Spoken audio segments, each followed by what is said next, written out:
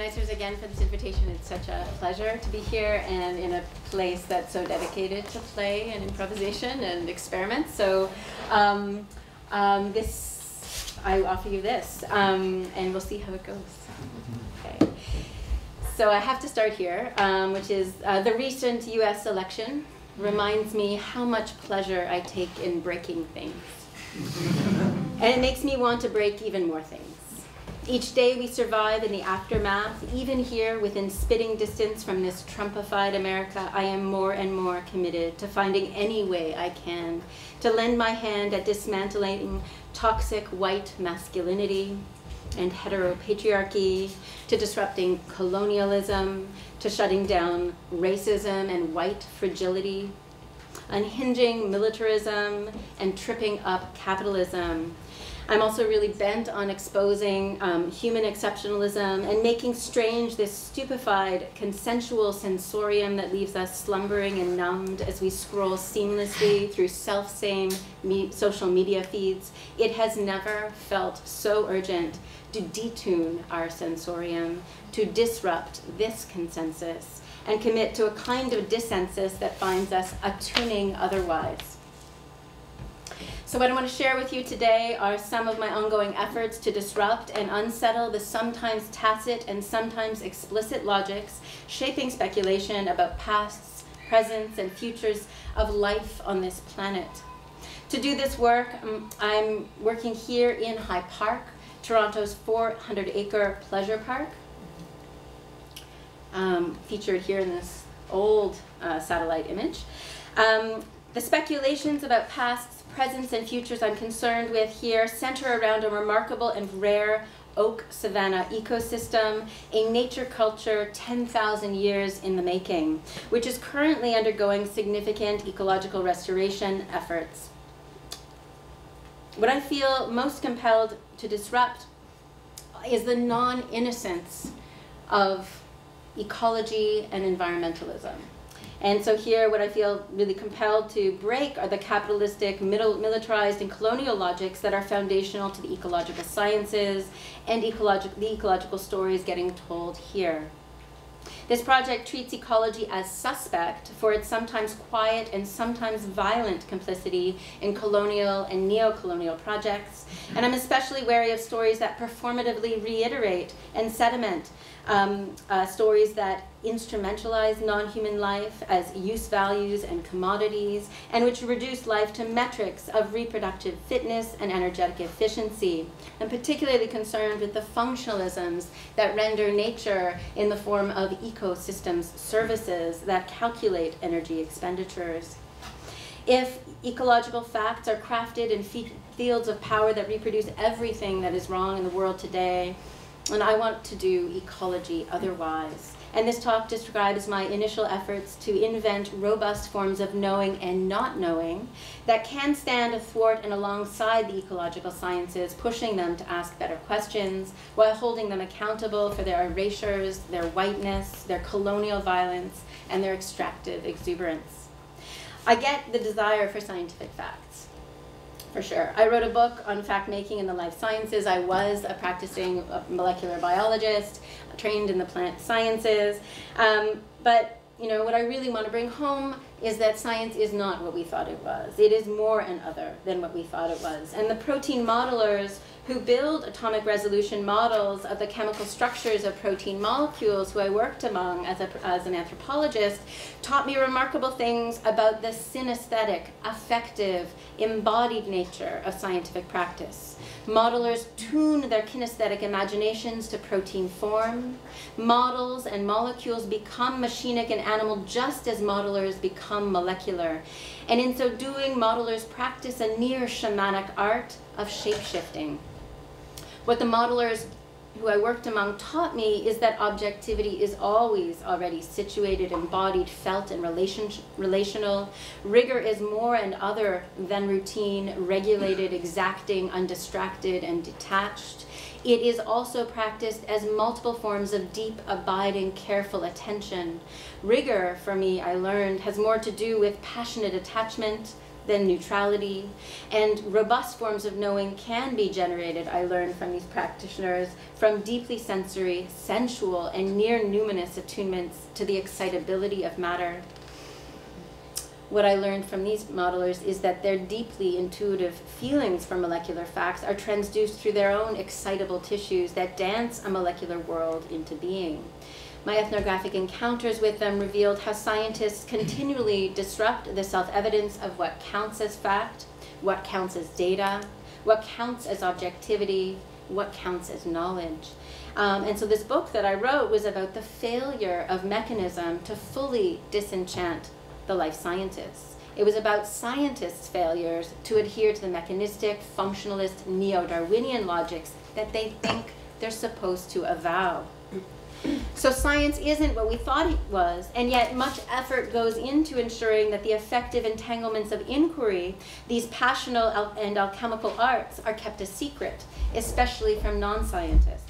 And so in the same breath as they articulate the desires and wiles of molecular affinities with their molecularly abducted bodies, modelers will disavow these forms of knowing, holding on to the consensual scripts of science as an art of detachment, neutrality, and dispassionate objectivity. So much effort goes into upholding science as a universalizing truth maker that in nearly every domain of social, political, and economic life, science is given full rein to level, colonize, cannibalize, and destroy other forms of knowing. Claims to science are claims to forms of knowing that institute hierarchies among life forms and separate humans from nature.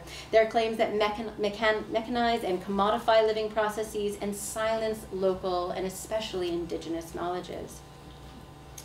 And so my new work holds out for ways of knowing and not knowing that cannot be put into service of bolstering science's power. And so I'm really um, moved by the call um, here of sort of illegible, um, unuseful, um, uh, illegitimate data forms. And so kind of excited about that. So doing ecology otherwise, this requires for me unsettling the foundation, founding logics of the life sciences, breaking their tenacious affinities with neo-Darwinism, capitalism, and colonial expansion, and simultaneously um, it begins with what the modelers taught me about synesthesia, intimacy, love, care, and desire as the conditions of rigor and objectivity.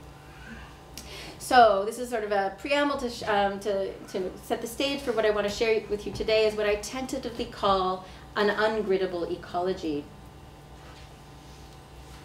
So we're missing some of the text here, it's matter. Um, an ungriddable ecology, which is maybe right, we don't need to see all the text. Um, I begin with the assumption that is entirely, um, an assumption that is entirely blasphemous within the life sciences. I begin by breaking the well-worn consensus that living beings are deterministic machines running genetic code scripts um, to minimize energy expenditures in functionalist economizing defensive relations bent entirely on seeking efficient means of survival and reproduction. So, not that. I begin elsewhere and otherwise in a world that is always already full of sentient beings okay, especially those creatures caught in those endless loops that we recently saw. But I want to say that those were sentient beings enclosed in worlds that could not let them be. Um, and so what I'm learning to practice here are the arts of attunement and transduction among subtle bodies involving them in what I want to call affective ecologies. So let's go to High Park. It's pretty close. we could walk there. if I could take you with me on a walk, I would start here on the park's eastern edge. This stone and metal gate at Parkside Drive and High Park Boulevard marks one of three entrances to the roadways that wind through the park. Just past here is another gateway. It is a living architecture forged by trees that have been holding forth for quite some time. The here that we experience now was a different here when these trees were young. They've been growing slower and more imperceptibly than the city has around them. I'm told that some of these trees could be old as 250 years, dating back to a huge fire that swept through the region in the 1750s. What did the trees know? If we learned to listen, what stories could they tell? For the past year and a half, I've been experimenting with ways to take these questions seriously. I've been visiting the park daily um, and working alongside Ayelen Liberona, a dancer, filmmaker, and longtime friend, to cultivate modes of attention that might help us tune in to the deep time of these lands and the no natural cultural happenings shaping its present. I've been experimenting with techniques drawn from the arts, anthropology, and ecology to invent a more than natural history and a more than human ethnography up to the task of documenting a happening 10,000 years in the making. Interested and involved, I'm learning to do ecology otherwise, to expand and extend this all too human sensorium in order to find ways to pay attention to what matters to the land what matters to the land, you might protest. To whom would we even address this question? And how, if there was a response, would we be able to sense and make sense of it? What is becoming clear is that it is stepping into these questions requires disrupting consensual and hegemonic notions of the senses, sentience, and sense making. A, rupture in Western norms of sense making leaves us in a generative space the space of not knowing. Perhaps it is time that we find ways to reach towards the unknowable, the imperceptible, the ineffable, and the numinous. Not with the desire to capture some truth, but rather to learn how to step into not knowing as an ethic and a practice not knowing what form a response could come in, not knowing what matters here, not knowing is not about cultivating ignorance or indifference. Rather, it is a capacious and humbling space that offers some refuge from the hubris of knowledge systems, like ecology, that that are bound so tightly to hegemonic cultural norms, evidentiary regimes, and moral economies that dictate what is good, right, and true. Forgetting what we thought nature was, forgetting how we thought life worked, forgetting too the naturalizations of mechanism that made us believe that living beings work in the first place, or that forests perform ecosystems for services, or that reproduction and fitness were the only valuable and recordable measures of a life. So Ayelen and I are insist on asking what matters here precisely to push past these assumptions about what counts as proper forms of knowing and the proper objects of knowledge in both anthropology and ecology. This is an experiment in suspending our all too well cultivated disbelief in the sentience of other things and beings. I begin from the assumption that we are surrounded by forms of sentience that we have, for the most part, been trained to tune out and ignore. I want to insist that there are forms of life and death that remain unregistered, unsanctioned, and unregulated by the machinations of biopower, um, that you know, whose forces gain traction most forcibly in worlds where nature is already figured as machine. Imagine for a moment that we inhabit a more than human world that is always already sentient, that this world full of beings, becomings, and processes of coming undone is pullulating with sensing and sensitive forms of life and death, and that these living and dying bodies are attending and attuning, caught up in dances with and athwart one another, composing and decomposing in responsive, repulsive, and propulsive relation. To be sure, these sentience may not be for us to know, there is a world of effectively charged chatter in the loquacious ecologies all around us, taking shape among creatures we may never see or know and who have nothing whatsoever to say to us. And at the same time, there are some sentiences among us who are calling out to us and who deserve a response. I'm thinking of the plants. Plants, after all, are the substance, substrate, scaffolding, symbol, sign, and sustenance of political economies the world over. They hold the sky up and the earth down, sticking it out through thick and through thin all these years. These trees here in High Park can teach us about endurance and modes of attention. All this time, they've been paying very close attention to this changing world. Each note of growth, each bud, each meristem and root tip is a center of indetermination, improvising, experimenting, and conducting daily inquiry into the play of light, gravity, and vibration. Worldly conjurers, these photosynthesizers both make and are made by the surrounding airs and soils. They both shape and respond to worldly rhythms and shifting climates. And what might happen if we reach toward them with an ethic of not knowing? This work in the savannah is teaching me, um, this work in the savannah aims to cultivate a decolonial, queer, feminist ecology, one that can keep pace with the ephemeral rhythms, temporalities, improvisations, desires, and pleasures of human and more than human creatures. It is a study of the affective ecologies taking shape among sentient bodies, and it requires transducing the creative, improvisational, and fleeting practices through which lands and bodies involve themselves in one another's lives. Feminist historian Carla Hustak and I propose the concept of involutionary momentum as a supplement to neo-Darwinian logics. Involution helps us to tune into the affective push and pull among bodies, the affinities, ruptures, and meshments and repulsions among creatures constantly inventing new ways to live with and alongside one another.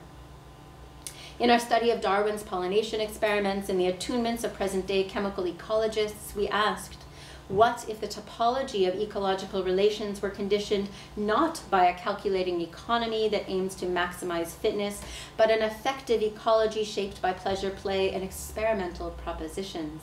Were, where evolutionists tend to fetishize economic logics, random mutations driving generational change, and functionalist accounts of adaptation, we sought out the involutionists who told stories about the fleeting and contingent forms of life happening now and now and now. Involutionary stories unsettle notions of the natural fixity of species boundaries and normative accounts of sexual reproduction and sensuality. They begin from the promise that plants and other creatures are up to stuff, that their responsive sensing bodies are always already sentient. So, one of the most important things that we are learning is that we can't ask these questions about what matters to these lands and bodies without asking first what matters to the indigenous people who tended these lands for millennia before the land was stolen, sold off as acreage, and later cordoned off as a municipal parkland. And so this is a map of um, John Howard's colonial moment um, of the takeover of this parkland. But the Wendat, the Haudenosaunee, the Anishinaabe nations lived here. Many other indigenous peoples moved through this region, which was an active center of trade. Um, this region is close to the Humber River, which traced a route known, known, as the Toronto Carrying Place Trail, a major traveling and trade route that tracked along the Humber River Valley watershed between Lake Ontario and what is now known as Lake Simcoe to the north. These, the issues of Indigenous um, pasts and presents and futures are especially pressing today as High Park becomes a site of intensive ecological restoration where naturalists, ecologists and the city's urban forestry team attempt to bring back an ancient oak savanna that used to stretch out across these lands. These practitioners are appropriating and contorting indigenous land care practices as they do things like administer controlled burns. Their restoration efforts build on conventional ideas about native invasive species, um, ecological restoration, and proper ecological re relations. And in so doing, they tend to hail an imagined past that assumes there was a time when this land was in some state of nature, some natural state. For many, this is a nature composed of a pleasing array of plant life, a tame and picturesque nature cordoned off for leisure, somehow that seems really problematic. I have no idea where I am.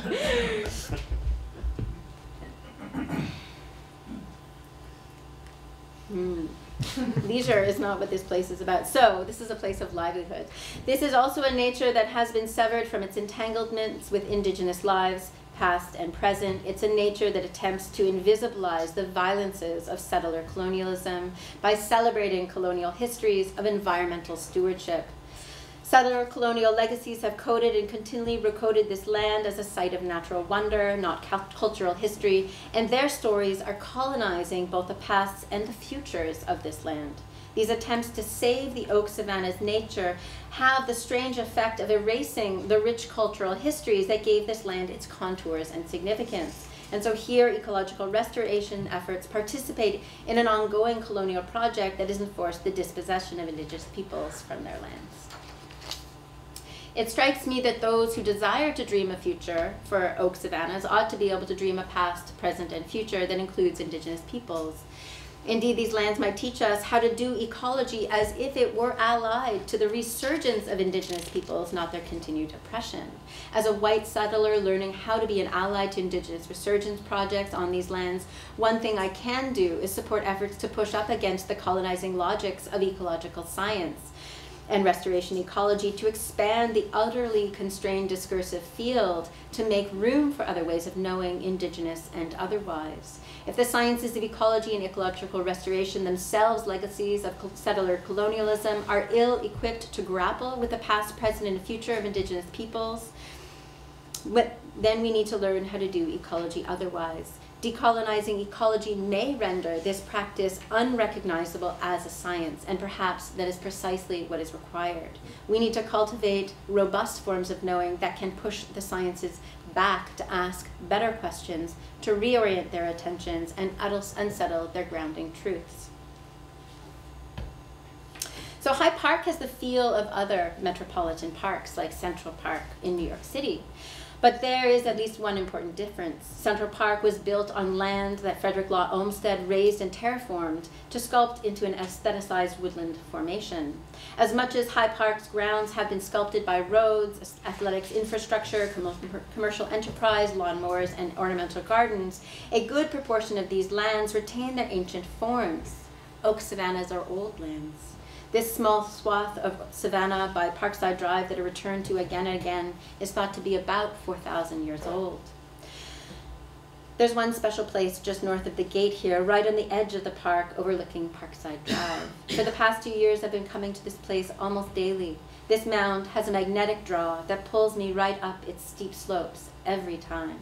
From the top of this mound, you can see the smooth, undulating topography of oak savanna lands rolling out to the south, west, and the north, and you can look over the city's streets and homes that line the park to the east. If you want to tune in to the deep time of this space, it's possible to just do this by looking down. Kick your boot into the sand. When you start looking closer, everywhere you look, you find sand. These lands used to be the bed of an ancient lake. 10,000 years ago, all this was underwater. Lake Ontario, Lake Erie, Lake Huron, Lake Superior, Lake Michigan, the St. Lawrence River. The lakes and rivers that we know today used to have different contours. They used to be much bigger, and at times they were much smaller. This was a landscape of what um, John Riley calls the shifting, drowned, and emerging shores, worked and reworked by water and wind, unquote.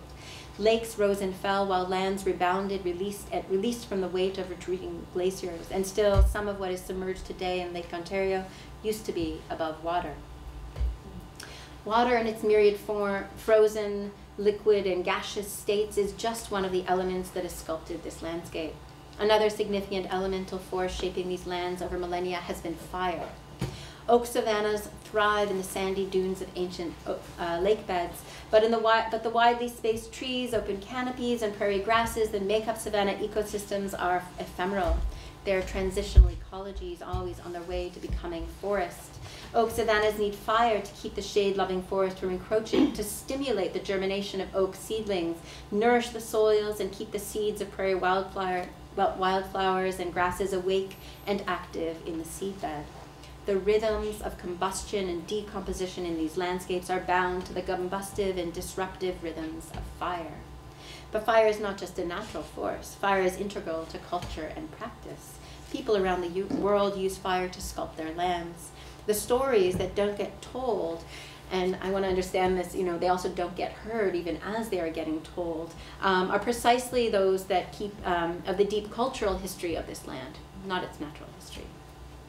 According to the archaeologists, there were people living in this region before the ice arrived, as early as 14,000 years ago. The stories told by the, by the descendants of these peoples attest that they have been here since the beginning of creation. One of the many devastating legacies of settler colonialism in this region was the suppression of fire. And it wasn't just that settlers suppressed the natural rhythm of fires set by lightning strikes, they also suppressed the fires set by indigenous peoples who had long used fires to care for these lands. Eventually, the colonists suppress the very knowledge of these practices. Oak savannas like this one can teach us the fullest meaning of the concept nature culture. The oak savannas in High Park have endured for millennia only because they were cared for by indigenous people who deliberately and consistently used this fire to keep them open and thriving. Fire allowed the many groups who lived in this region to cultivate acorns, walnuts, butternuts, chestnuts, beechnuts, hickory, and hazelnuts. These nourishing trees in the open canopies of savanna lands attracted white-tailed deer, turkey, raccoons, squirrels, passenger pigeons, and bears, making these spaces good, uh, good for hunting. The fires opened up spaces for people to build homes and villages and to grow corn, beans, and squash, sunflower for oil, and tobacco for ceremony. These lands were taken from the Mississauga First Nation in 1787 for a meager sum in a land deal that founded Toronto's predecessor, the town of York. The removal, the removal of indigenous peoples from their lands and the obliteration of their cultures through residential school systems and forced assimilations has and had and continues to have devastating effects on individuals and their communities across Canada. High Park's Oak Savannah provokes another line of inquiry into this history. Can we ask also about how this violence impacts the well-being of the land? What does a land lose when it's dispossessed of its people? What current ecological restora restoration projects reveal is that it is the nature of this land that has been deemed worth saving. And yet there is no space of pure nature to be found in an oak savanna. Savannas are nature cultures ha whose happenings demand more than natural histories and more than human ethnographies to account for their deep time. This land is now coming undone. The oaks have been falling. They've been coming down fast. Seven enormous oaks have fallen since I started coming here daily last in the last years. The next generation, which have been grown up in thickets on sites that have been burned according to urban forest, forestry protocol, are just over 15 years old. In spite of the well-meaning efforts of the city's urban forestry team and the volunteer stewards, there is no saving the oak savanna. It is becoming other. Intensive ongoing efforts to restore the savanna through burns, plantings, weedings, and seed collection remind me again that you cannot take the people out of a savanna new nature cultures are actively in the making. And as this happens, it is necessary to keep posing the question, what matters to this land? And whose cultures, whose natures, and whose stories will get to flourish into the future? We need protocols for an ungridable ecology in order to begin to ask these questions. Toronto's urban forestry team has put up signs throughout the park to mark monitoring plots where they've done ecological restoration work. These sites are um, where workers have returned every once, uh, every once in every few years. And if you can read this, it's uh, this really old decayed sign that reads monitoring plot. And I love this image here, which includes an invasive, the invasive species growing right up and spiraling along these uh, monitoring plots. But there's an archive at City Hall that contains uh, photographs um, where parks workers will come every couple of years and, and take and snap a picture um, and put that away in an archive as they are monitoring this environment. But what is environmental monitoring? How is it being practiced here? And how could it be done otherwise? What other modes of attention might be required here? These are sites where it's clear we need to pay very close attention, but what, you know, what would we have to do with our bodies, imaginations, um, and our stories in order to learn to pay attention differently? What modes of attention could change the stories that we tell.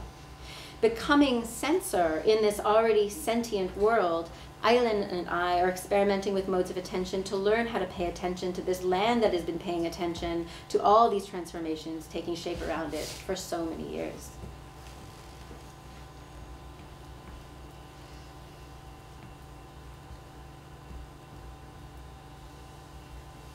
At night from my house, just five minutes from this gate, I can hear a single motorcycle leaning into a curve in the highway, its engine rolling echoes off across the lake. Sound travels far here, it lulls, but it does not stop.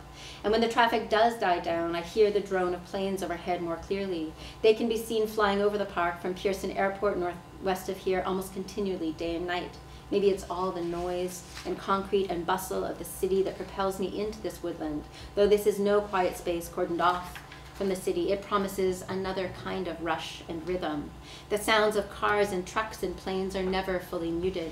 They just propagate differently here. There is no boundary separating city from park, urban life from realms people still call nature. Muffled and modulated by trees and shrubs, birds and squirrels and insects, ravines and slopes, city sounds resonate here in a distinct vibratory milieu. And these images of the kind of glass, metal, electricity, and petrochemical sliding by High Park's um, um, Oak Savannah are precisely what needs to be included as we do a kind of ungridable ecology. These are integral um, participants in this ecology. The park generates its own noises too. There's a sandy hillside here where grasshoppers and dragonflies and wasps in high summer make such a din they drown out the drone of planes above. There are the barking dogs, of course, and then there are the dog people, who sometimes bark louder and more insistently at their dogs, calling out in voices alternately angry, insistent, or forlorn, a name or a command over and over again. And then there are the chipmunks with their shrill, shrill warning calls that come always with a shiver of movement, a rustle in the leaf litter, and the cicadas in summer sounding like electricity running along the wires. Sound palpates space and pulls at time, speeding up and slowing down the sounds of this land reveal voices from another time. Uh, my friend Nick Murray, the Barbados-born musician and co-founder of the Toronto-based uh, band Lal, taught me how to slow down a recording to the point that you can almost hear bird calls ricochet off the trees. His technique makes it seem as if echolocation is not the sole provenance of the big brown bats who deftly navigate this space at night. Following Nick's lead, Ayelen and I started experimenting with sound during our first year of working in the park. We're coming to understand our experiments speeding up and slowing down sounds as modes of kinesthetic listening. And so we're both trained in, in dance and we both experience sound, though we're not you know, makers of sound, we definitely work with sound quite deeply. And so it's sort of one of these practices as a, as a mover where sound for me is so deeply in my tissues. I don't have no sense that I'm actually hearing with my ears. So my fascia, my bones, and all my ligaments are actually part of this, um, this, this practice of hearing. And some of the ways that we work with sound actually feels like we are stretching and pulling at with the compositions, which is a really interesting way to participate in sound artworks. So we slowed down the cries of gulls flying overhead, finding ourselves calling up the sorrowful calls of coyotes sounding out into the night. When we slowed down a recording of Ayelen's feet stomping a sound on a soundy mound, we were able to conjure the haunting sounds of ancient rocks crumbling by some massive geological force, and the sounds of the earth quaking under falling trees.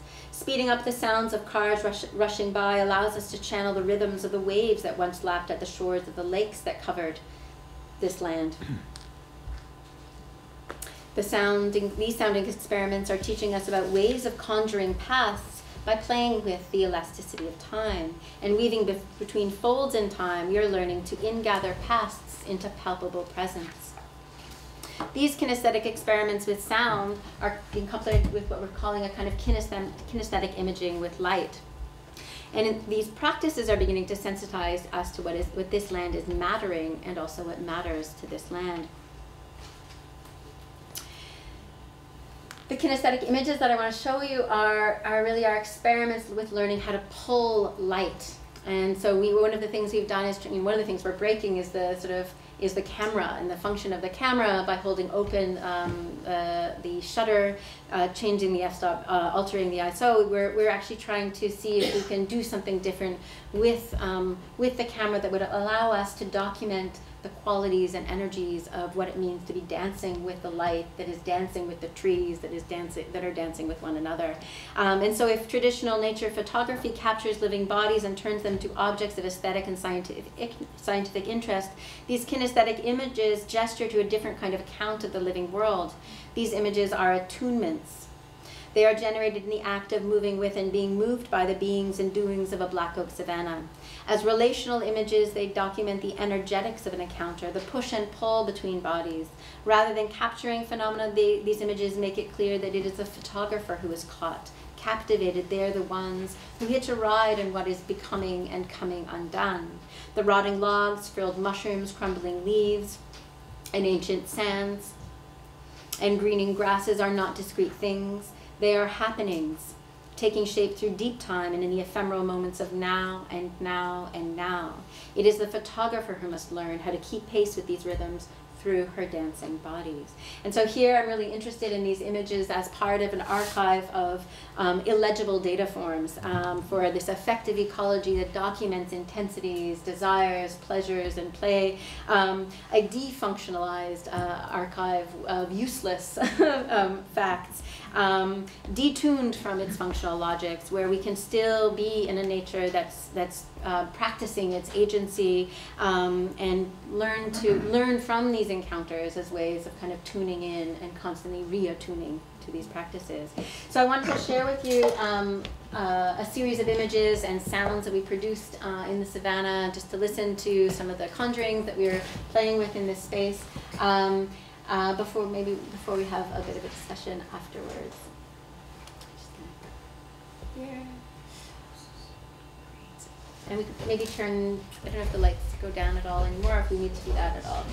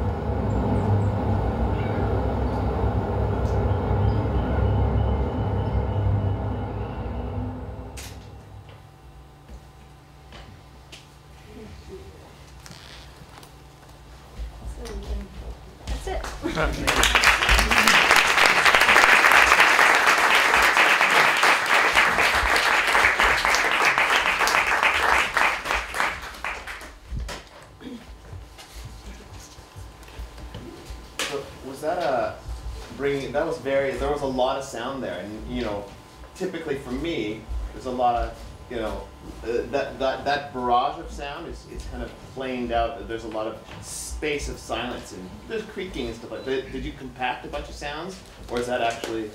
Are, are they layered sound after sound, or did you have a lot of silent, kind of relatively silent gaps between those? There was no silence. Really? There- Really? in, in our recordings, there was, Yeah. there was just no silence. I Wow. mean, we, I so mean, even at night. mm, Uh, well, the, this particular recording was taken during the day in the spring at Yeah. a time when the leaves are off the trees. So, Oh, this, yeah. so this particular kind of sonic ecology in Yeah. that space is, um, and the unend, the, the unending uh, traffic. So you, there's never not there's never Yeah. a lull, and there's never a lull. You know the varieties of things. So, but there are. There's there's a tiny bit of layer like there's a tiny bit of layering Okay. there. So okay. some because of you mic'd, you were micing, I think, your feet crunching in the leaves. And, Yeah. Yeah. There was a lot of mic. How many mics were you using? Um, we had one directional mic, Yeah. um, which we offered. We're using also as in like moving into the sound. So actually leaning like so leaning into the traffic. So Yeah. going to changing our speed Oh, in I see. relationship to things that were coming towards us and just experiment. So it was our first experiment with sound. So it's just really it was sort of like the pleasure of like seeing like what yeah. what we might play with. and the choreography of capturing the sound is kind of neat too when you're swinging exactly. into. and- exactly and so ideal what we're interested in is experimenting also because when you're when we're when we're practicing our sort of as movers in that space Yeah. the um the the sense that there are diff- there are different worlds on either side of course of the binaural kind of moment so so eventually we'd like to really experiment with what that what it means to listen as a dancing body in that space to to the to the Yeah. sonic ecology that is taking shape through bodies that are so multiply diver- like distributed right Very interesting. Yeah. And can I make one more quick comment there? That it it would also be interesting to do with the sound what you're doing with the image. The long, you know, where you're, I don't know what, what that would entail, but where it actually, can you overexpose sound, you know? Can you actually, can you do the kind of, the blur of the sound, right? Yeah. To match the blur of the image. Yeah. You know, it's kind of neat, yeah. Yes. Great. yes. Yeah. All right, yeah. What I, l- I just loved it. I, it it's, was so resonant for me in many ways. But one of the things that really struck me is that I ceased to look at these beings as objects. Mm. Yeah It kind of it so it really for me the uh, the the striking thing was that it, I mean the object oriented kind of point of view also doesn't really capture what you did here too. So I really it was very almost each each image was an ecology in itself, Mhm. right? So you have these enmeshed ecologies, not objects. I'm so glad you saw that. Yes, I know. Um, That, that was marvelous, so, you know, thank you. Um, But I'm, I'm curious, what, the, the, what is the role in this affective ecology of fear, dread, or anxiety? huge. it's huge. So, um, I mean, I intentionally locate this project right at the edge of uh, a giant thoroughfare, right? So, part of it is about um, being in um, an unrelentingly, like physically, like both sonically but also energetically assaulted space. The entire park is um, um, has been transformed into an infrastructure for stormwater runoff. Um, so the chemical violence in that space is pretty like abundant.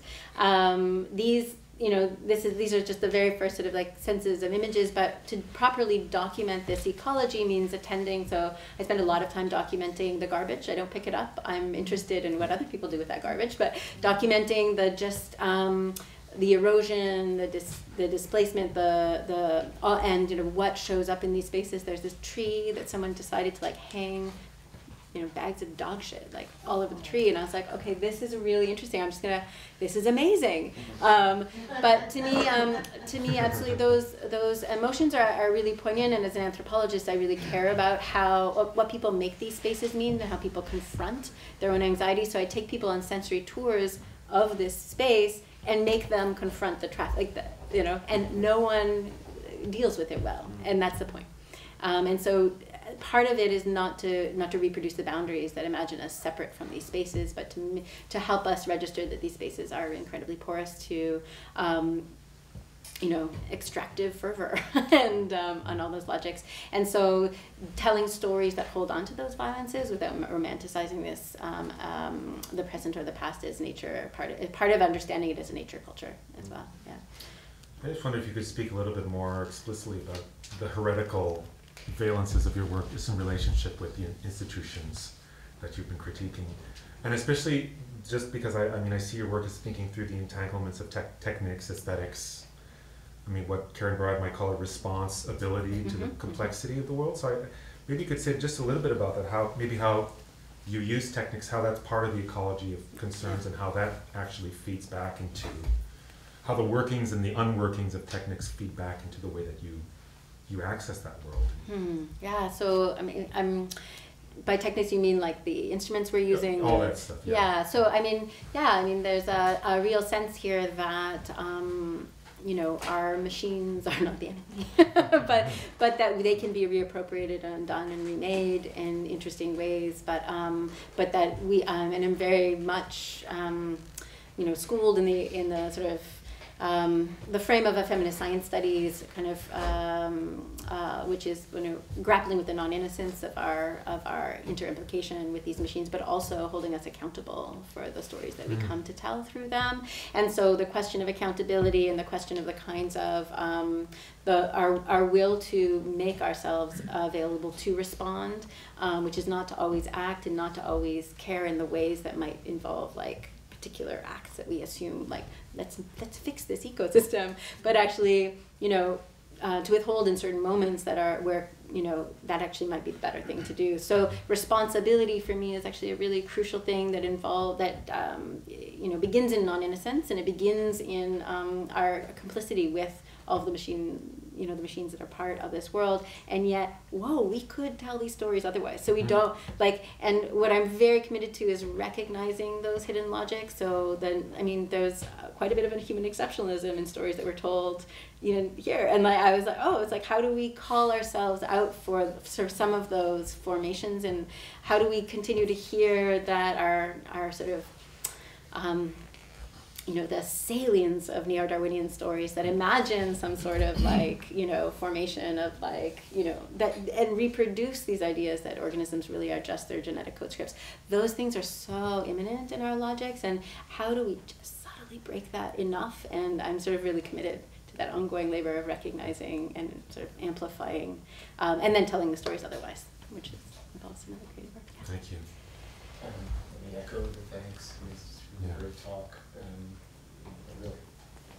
capstone isn't the right word, it's actually more of like a line flight, actually, something wonderful, so really genuinely, thank you. Um, I- this started as two questions, but I'm gonna make it one. okay Um, and so maybe the question is, um, well, the set to the question is, I was thinking about the relationship between the word ethic, protocols, and modes. So ethic Mm. is not knowing protocols of ecologies and modes of attention. mm.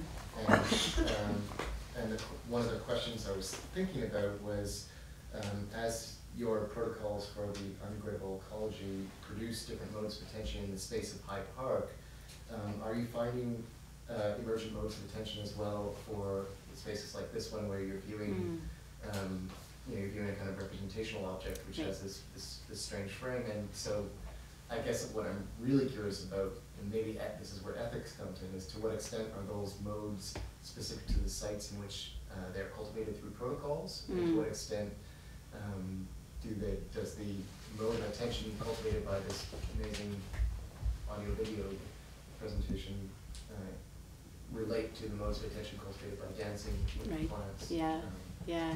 Um, I feel hamstrung in, in spaces like this because really I just want to take you with me.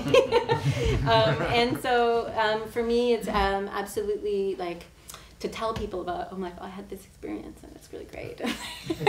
Versus, um, so one of the things that we do is not tell people what they're supposed to experience in these spaces. And so we take people on these sensory walks and give them space to come to their own right so in our um, are kind of building an archive of an ungrid-able ecology involves all of these eh, these amazing materials that people are generating in the space as they come to do that. And so for me, that's a, a much fuller experience where you know we can give um, offer people sort of a guided visualization from which they open up their eyes, and the trees are not the same. Like the trees are pulsing, moving, dancing beings, like having experiment, like conducting experiments, and like and so and people can see that, and then they can go like, oh wait, wait, what's here? And we send them off, and they do they do some environmental monitoring in whatever mode of attention that they've invented to like figure out what they think matters here. And so for me, it is a very much an experiential process. And um, Ayelen and I are struggling with forms. How do we relay this in broader forms? And so um, it is, you know, we we're like, I want to.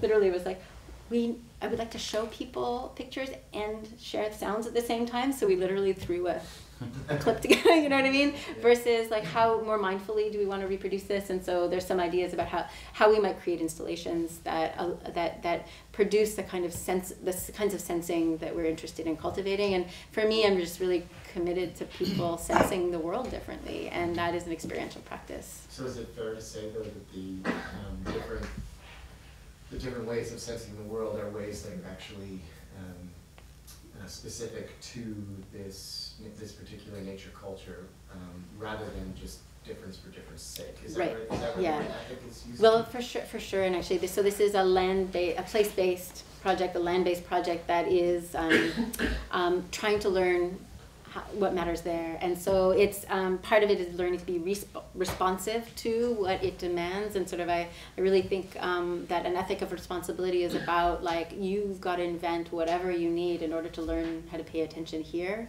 and that that that is about here, and uh, you know absolutely in other spaces we would yeah need to cultivate other yeah.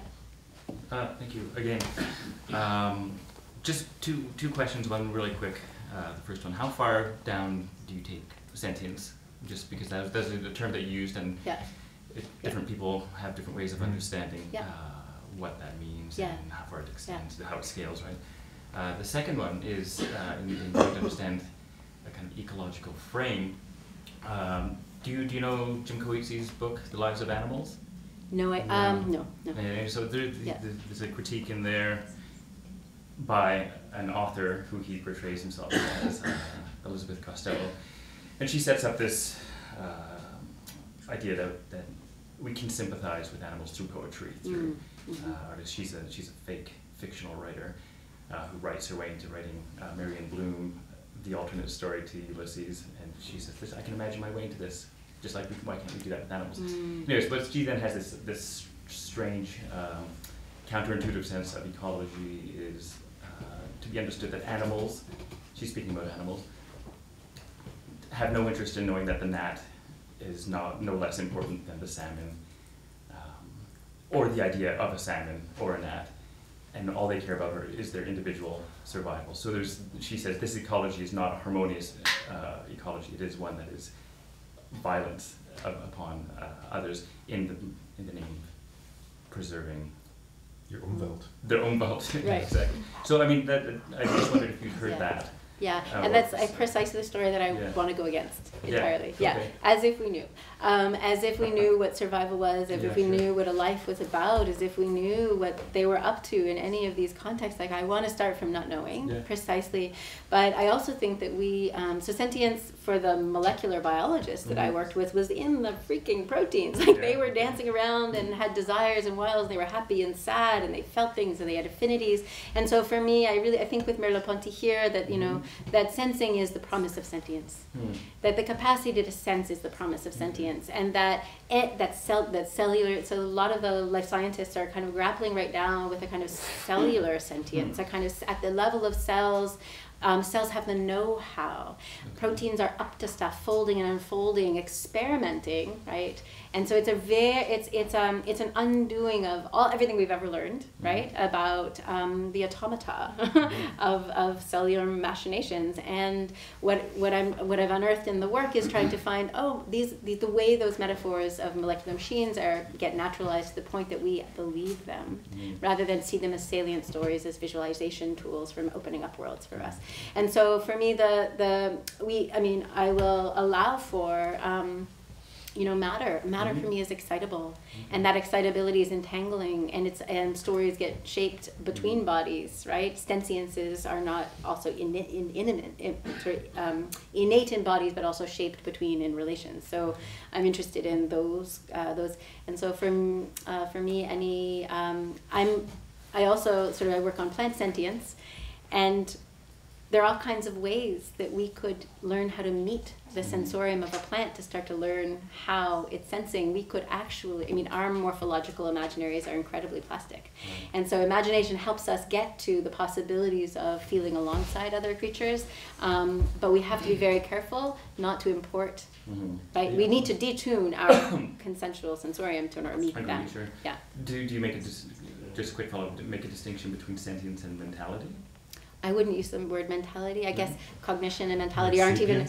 Yeah, I'm not No, interested. I'm not- I'm not- yeah, yeah, yeah. I mean, some I'm, people do, yeah, I- I'm not interested in mind per Mhm. se as a kind, a very bodily. I'm really interested in Mhm. the bodily uh, senses. So the, the idea that like skin is sen- is sentient. The idea, yeah. So um, the mental space is not. No, a that, that space helps thing. me So the vegetal, the vegetal is great because we get to this this headless creature. Right. We don't need this headless creature who can root and do all these incredible things in really creative ways. Yeah.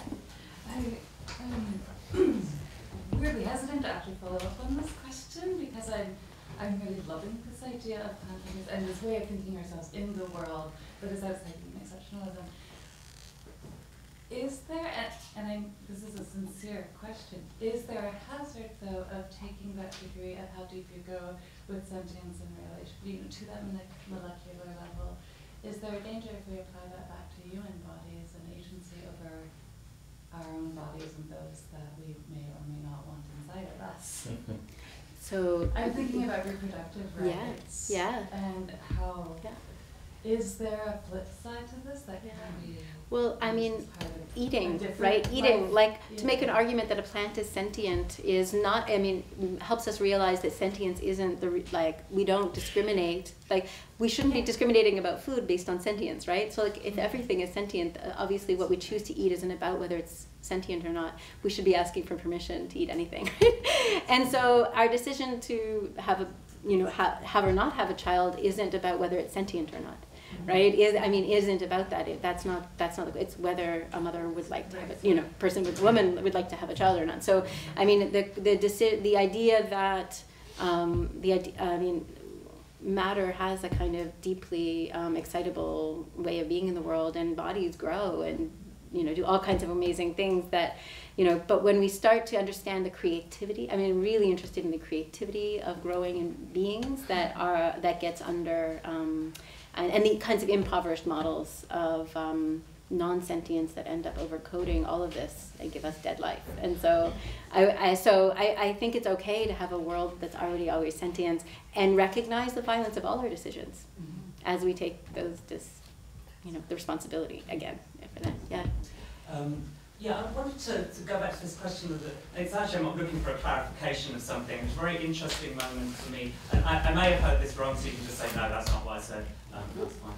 Um, so there's a relationship between questioning sensation and the question, sort of more old-fashioned sort of idea of aesthetic imagination, in a certain sense. And I love this idea of, you know, like sort of transformation in imagination can sort of produce. So that, that moment, uh, did I get this right? So the moment where you were kind of like saying, um, all right, so we made these sounds, you know, which we can make now, and by sort of processes of manipulation and sort of transformation, um, they would be like sounds that no longer exist um, in the environment. So I was kind of thinking, know, that's nice because you're using something that's already there to make something which is no longer there in terms of the sound, right? So what I was thinking, I mean, it's sort of slightly a thought experiment a little bit, just like, well, did you need to make it with the sound that was already there in order to create the aesthetic, you know, transformation, the aesthetic imagination? Do you see what I'm saying? Because there's a, you're using the actual material sonic stuff that's there, but it is for a sound which is literally no longer there. It's not like we can, Yeah. you know, on Yeah. that level, according to what I was hearing. So Yeah. I was wondering about that use of the materials that are Mm. already present, like Mhm. through the imaging and, and Mhm. the sonic stuff, with regard to this project of transformation in the imaginary, and whether the materials actually do have to come from the place, or whether you could transform the imaginary I mean, you do the electronic music or something Right, like right, that. right, So I'm interested, I mean, it doesn't have to be resolved. Yeah. It's not a, like, if you can't resolve this, I don't like what Right. you're saying. It's more like, um, I'm just interested in that because I think it's perfectly fine. So I use these sounds to Yeah. make something about Yeah. the sonic environment, just in Yeah. here. Yeah. Um, so, so what's that? Yeah. I mean, it's not necessarily a problematic Yeah. gap. I see it as a practice of conjuring, which is That's nice. really like not like the, the like there's something here and can we play in this space to conjure another here Mhm. right and it isn't uh, but it is about recording what's here so i do i am int- very much interested in taking the materialities of the world and so i'm really interested in the practice of rendering like um, which is which is the art and craft like of, of pulling and bending at the world like tearing at stuff to, to, to pull it into other other forms and all kinds of aesthetic forms. And so the book that i wrote on rendering life molecular was about all these incredibly like complex aesthetic formations and technical maneuvers and all of these things of pulling and bending at the stuff of life to pull it into sort of human visibility. And I, I, there's a, such a creativity in the molecular biologist practice and i'm really interested in like what are we what are we doing with these stories and how what kind of um, what kind of play and improvisation can we have with these materials to tell these other stories? And it's it's not um, it's it's to show also the fictionality of our storytelling at the same time so we can start with what is here. And i'm, I'm interested in what is here and i'm interested in the sound of the stomping feet. Mm. and then i'm also interested in this like what else is there well the stomping feet is on sand. Oh what is sa- sand oh time. Oh so you know it looked sa- Mm. oceans. Oh yeah so you get this like different quality. And so i do like i want to be in the material as much as possible and play outside of that yeah. Um, you were talking about the age of the forest and stuff, and I, I for some reason, it was funny that uh, Johannes Fabian popped up, and I was thinking about um, this idea of the forest being described as outside of history or in a different historical moment Mm. because of its sort of inscrutability in terms of our ability to perceive in that same sort of Mm. time scale. Right, like a- right. Like a tree-like phenomenology or something. mm. Which I guess related to Anne's question about, or a point about the de-objectification of a plant uh, not working well with object-oriented ecology. So I, I started thinking about what would an anthropology of non-human objects look like that didn't anthropomorphize the object in order to render it available to anthropology. Yeah. So you're an anthropologist yeah how, as an anthropologist, do you approach the non-human without making it human enough yeah to say something about it from the perspective of an anthropologist? So great question. Um, I actually uh, don't think we know what anthropomorphism is. And in fact, I think it's misrecognized in all kinds of ways. So um, the, I'm really interested uh, in the morphisms that go on every time that we play with language to make sensible some other world. And I want to make, I make the argument in the book and elsewhere that what's going on are metamorphisms. That in fact, um, the scientist who's modeling a molecule as animal or wily or human or machine is simultaneously being molecularized. Their tissues are being molecularized. And so there, there is no one way loop or one way directional imposition of the human on the other. There's an ongoing remaking of the human in these entangled relations as the object changes. So the morphic quality here is really uh, um, um, expansive. And so you, um, so I, I actually am not worried about anthropomorphism. In fact, some of the scientists I worked with was like, I don't, I don't anthropomorphize. I phytomorphize. I get my graduate students to dance like plants to figure out how to be like what a, pro- a plant problem is, so that they, you know, and so there's a kind of um, a practice of yielding to the other. Um, which is really crucial in the arts of crafting analogies that to tell stories in different ways. And so there are terrible anthropomorphisms, you know, available for, for us to reuse and propagate. But there are also forms of telling stories about plants that don't assume such a radical bifurcation, right? So there's some interesting ways in which I'm interested in expanding our morphological imaginaries, right? What could we, how could we vegetalize our sensorium precisely in order to learn to attune to plants better? And we could actually learn to do that. I've photosynthesized before; it's pretty fun. And so, you and so you can you can do these you can do all kinds of um, kinesthetic experiments um, to, to detune our sensorium and actually and that will change the language we use and so right now i'm watching plant uh, scientists um, they will they are importing impoverished um, problemat- problematic cognitive uh, behavioral ecology concepts onto plant worlds. Um, but I'm in conversation with them in ways to encourage them to find ways to experiment to such that, you know, how could we begin with plant sensing um, and change human models of consciousness? by doing so. So anthropomorphism is not is more and other than what we thought it was, and I'm, I'm interested in, in that kind of metamorphic movement, loop, a very loopy flow between um, between um, us and others that that that change what we thought was going on in that relationship. Okay, so um, um, I have a question about nature, if I may. Um, what is that? so of course there are there are places on the planet that don't have a history of human habitation. Ah, right. I argue with you. well, and and, i and I want to see if this will be your response, right? Um, so I'm thinking of Antarctica, Mhm. and I'm thinking of the ocean, right? And the only kind of response that I've really seen to what I'm saying, right, is that what we should be looking at there is the history of human impact. Yeah. So with the oceans, for example, I mean, Atlantis notwithstanding, we never lived there, right?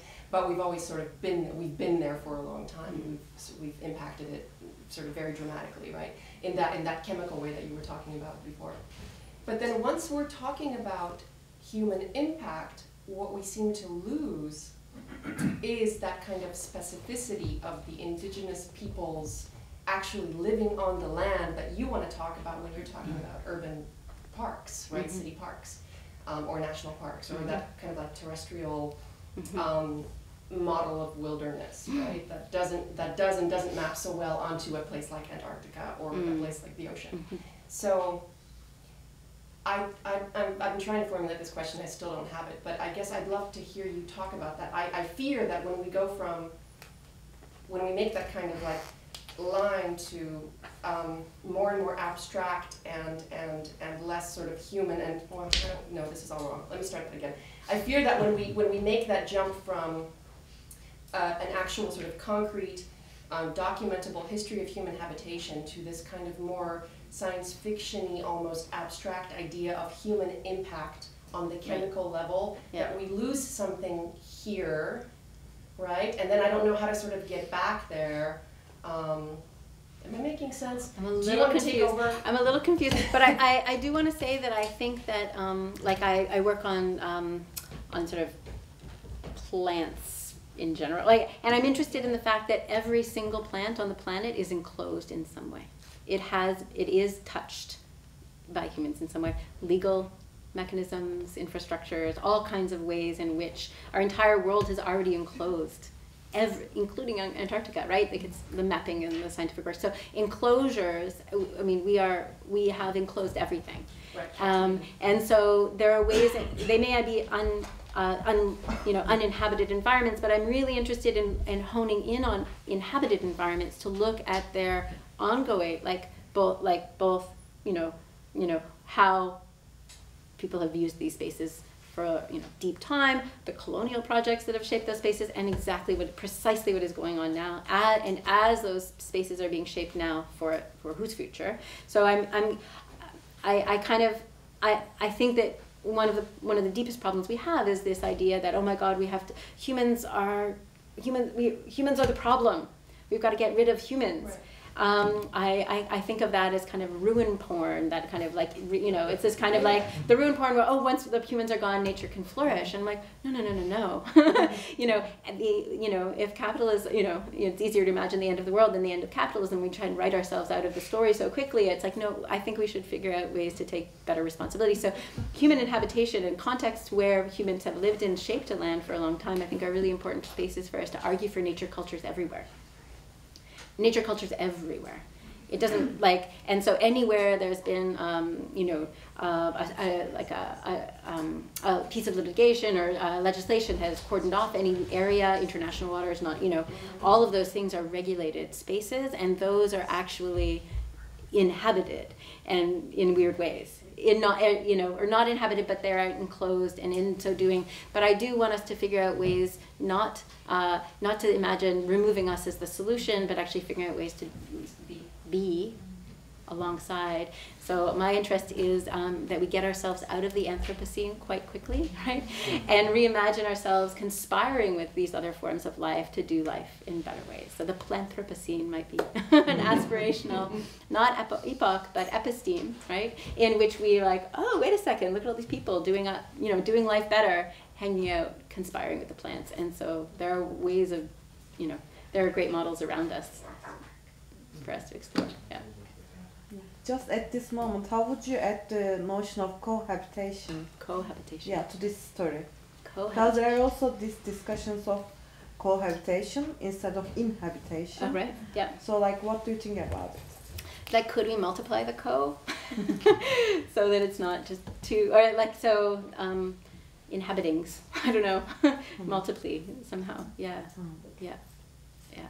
Con- uh, conspiracy is a term that uh, Tim Choy has been developing, which has been such a lovely, a lovely way to think past collaboration. And suddenly, collaboration started feeling really flat for me, and so conspiracy. we need to conspire. Breathing together. Breathing together, exactly. Tim Choy's work. Yeah. Uh, one more question maybe from Jackie? Thank you, it was very inspiring. Um, a question, um, with the photographs, for me, um, I was wondering how many photographs did you make? Yeah, and how, the moment you choose the ones you want to Yeah. see, they sort of, they get the uselessness of them. Right. They enter the frame. Yeah. And how do you talk about that? Yeah, lovely. That's a great question. And there, these are uh, just a selection, Yeah. but almost every photograph we took, we wanted to use. Then we just had to like choose some. um, but the um, and these ones actually we created. Um, so they the images were never meant to be shown. Um, in sequence, they were initially we were like, oh, we created a sequence that was a just a giant panel of images, um, and it was there was a there was a narrative flow in the story we were telling, right? So there was it's um, I, I take very seriously the the responsibility we have as storytellers. And what's so strange is that when we put that narrative flow of the sequence of the images on the narrative flow of the sound, which was a totally separate project, and we overlaid them here, I was like, oh, it's a weird, of course, the magic of.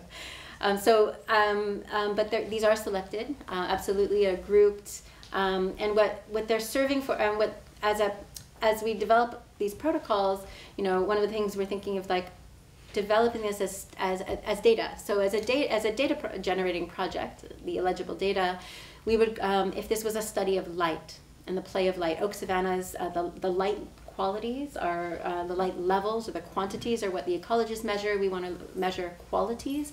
And so we would go um, maybe three times a day and dance with the trees and the light in that space, taking images gather that the qualities of light at this time of day, the qualities of light at that time of the day, the qualities, and all of the images generated, of course, would be data. Question is, you know, what's shared, what's shared, etc. So, um, and then we craft salient stories, but like all scientists and all scholars, we're always telling stories selectively from the data. And I think um, to, to call attention to sort of the, the aesthetic formation that we're working with here is really important. So, I thank you for that question. Thank you can we thank Natasha?